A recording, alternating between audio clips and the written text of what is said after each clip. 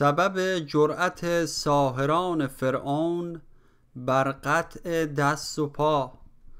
ساهران را نه که فرعون لعین کرد تهدید سیاست بر زمین که ببرم دست و پاتان از خلاف پس در آویزم ندارم تان معاف. او همی پنداش کیشان در همان وهم و تخفیفند و وسواس و گمان. که بودشان لرزه و تخویف و ترس؟ از توهمها و تهدیدات نفس. او نمی‌دانست کایشان رستند بر دریچه نور دل بنشستند. این جهان خواب است اندر ظن مه است گر رود در خواب دستی باک نیست. گر به خواب اندر سرت ببرید گاز هم سرت برجاست و هم عمرت دراز. گر ببینی خواب در خود را دو نیم تندرستی چون بخیزی نی سقیم.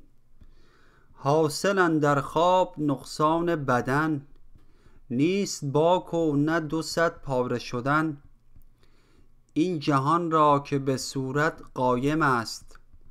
گفت پیغامبر که حلم نایم است. از ره تقلید تو کردی قبول. سالکان این دیده پیدا بی رسول. روز در خوابی مگو کاین خواب نیست.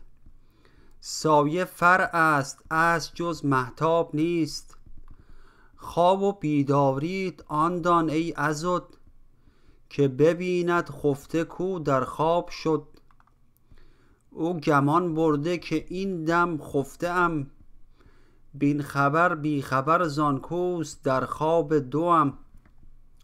هاون گردون اگر صد بارشان خرد کوبد اندرین گلزارشان.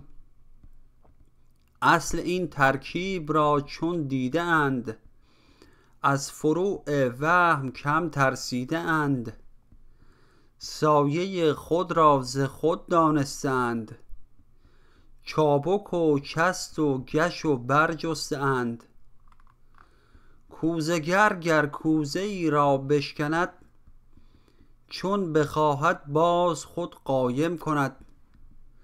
کور را هر گام باشد ترس چاه با هزاران ترس می آید به راه. مرد بینا دید عرض راه را پس بداند او مغاک و چاه را. پا و زانوش نلرزد هر دمی. رو ترش کی دارد او از هر غمی؟ خیز فرعونا که ما آن نیستیم که به هر بانگی و غولی بیستیم. خرقه ما را بدر دوزنده هست. ورنه ما را خود برهنه تر به است.